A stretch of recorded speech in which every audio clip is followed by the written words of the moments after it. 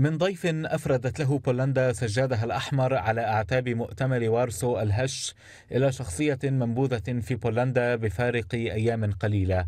هل هي نباهة بنيامين نتنياهو في استغلال مواقف خارجية في صراعاته الداخلية فتنقلب عليه مزيدا من التحفظ حول صورته؟ ليس ابتداء بعلاقته المشوبة بالسلبية مع الرئيس الأمريكي السابق باراك أوباما ولا انتهاء بما جرى مع بولندا أخيرا. فقبل مغادرته وارسو نكأ نتنياهو جراحا تاريخية استفزت البولنديين إذ قال إنهم تعاونوا مع النازيين ضد اليهود وإنه لا يعرف أحدا تمت مقاضاته على هذا الكلام.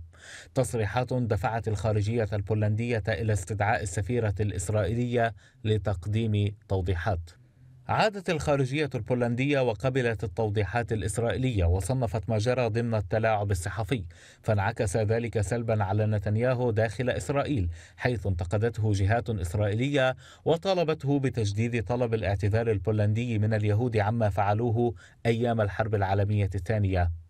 لم تكد نار الأزمة تهدأ حتى أشعلها القائم بأعمال وزير الخارجية الإسرائيلي يزرائيل كاتس من جديد. لم تكن تلاعبا صحفيا إذا قال كاتس عن البولنديين بأنهم رضعوا اللاسمية في حليب أمهاتهم.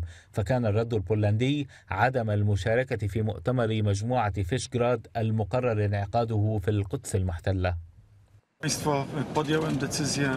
لقد اتخذت قرارا باستدعاء الوفد البولندي من الاجتماع في إسرائيل والذي تم التخطيط له مسبقا وكذلك وزير الخارجية لن يذهب إلى هناك. لقد اتخذت هذا القرار بسبب الكلمات التي نطق بها وزير الخارجية الإسرائيلي الجديد وهي غير مقبولة على الإطلاق.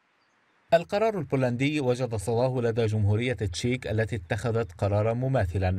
يبدو نتنياهو خاسرا في أحسن حالاته هنا متكئا على إدارة الرئيس الأمريكي دونالد ترامب في معظم خطواته الدولية.